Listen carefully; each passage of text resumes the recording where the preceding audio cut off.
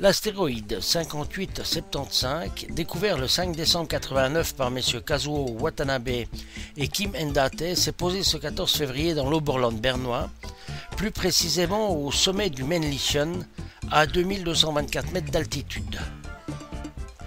Plus sérieusement, l'astéroïde 5875 répond en fait au nom de Kuga, et la raison de la présence des journalistes ce 14 février au sommet des montagnes est due à l'arrivée du dernier crossover de Ford, le Kuga.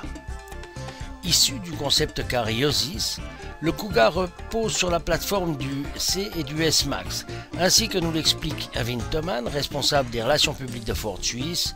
Ford s'est donné le temps pour nous proposer ce véhicule 100% made in Europe. Bénéficiant du fameux kinetic design, le Kuga révèle des lignes de break un peu haut, voire de SUV avec euh, ce brin d'agressivité qui lui donne l'impression d'être aussi un véhicule à caractère sportif. Destiné à accueillir jusqu'à 5 passagers, le Kuga sera disponible uniquement 4x4, propulsé par un diesel de 2 litres de 136 chevaux et 340 Nm de couple. Ce dernier sera assisté par une boîte mécanique à 6 rapports. Plus tard, un 2 litres 5 viendra augmenter l'offre. L'avant est agressif et incisif, la partie latérale nerveuse et bombée, et un arrière rassemblant des éléments de S-Max confirme l'appartenance à la famille Ford. Disponible en quantité réduite à fin mars chez quelques concessionnaires, le Kuga pourra déjà être essayé et testé. La grande offensive commencera, elle, fin mai, et les premières livraisons se feront à partir du mois de juin. Les prix ne sont pas encore fixés, mais le prix de départ semble osciller autour des 40 000 francs. Par un temps digne d'une carte postale et à plus de 2000 mètres d'altitude, le Kuga nous a été livré par hélicoptère.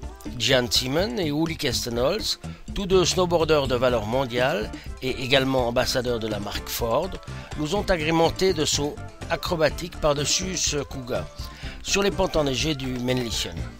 Si vous désirez le voir avant le mois de mars ou le mois de mai, vous avez la possibilité bien entendu de le découvrir au Salon de l'Automobile de Genève, ainsi que la dernière préversion de la Fiesta, qui finalement, et selon notre dernière source, portera également le nom de Fiesta.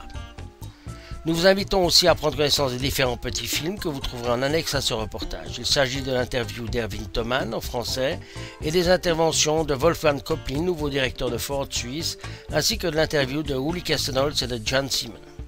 Jean-Louis Vidal pour autotop.ch, février 2008.